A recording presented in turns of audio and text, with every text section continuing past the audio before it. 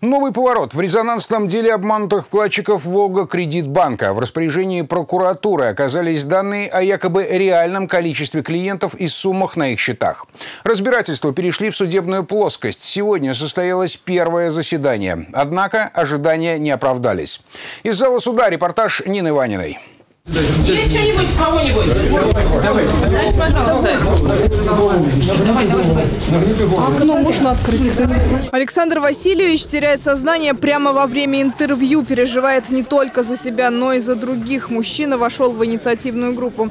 Свою настойчивую позицию вкладчики проявили, придя на предварительное слушание. В узком коридоре яблоку негде упасть. Много пенсионеров. Деньги эти я копил всю свою трудовую жизнь. Вот, и, конечно, потерять их очень обидно. Ушел на пенсию думал, хоть что-то будет подспорье во время пенсии. И люди теряют доверие вообще в банковской системе. На предварительное заседание суда вкладчиков пускают. В зале все, кому хватило места. Для журналистов процесс закрыт. Так, убирайте.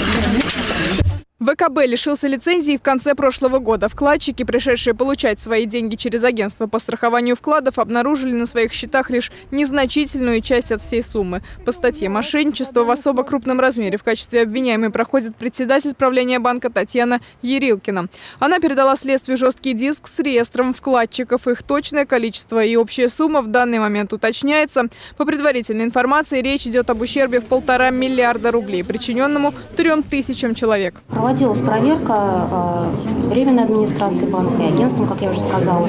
Э, заявления граждан, э, сведения, указанные в заявлениях граждан, совпадают со сведениями в реестре и на диске. То есть все это было сопоставлено, в связи с чем сделан вывод, что там были достоверные сведения. Сами вкладчики опасаются, что суды могут затянуться, пока же советуют друг другу перестать нервничать, собраться с силами и ждать. Нина Ванина, Игорь Лунев. Новости губернии.